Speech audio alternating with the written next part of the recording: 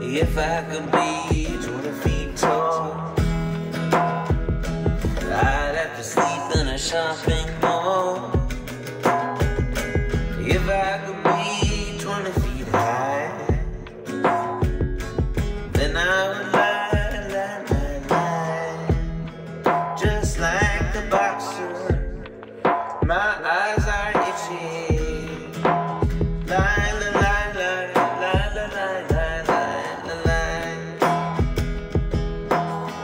I could change to the size of an ant.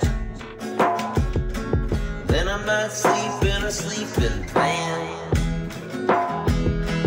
If I could sleep where the fishes dwell, then I might wind up straight in hell.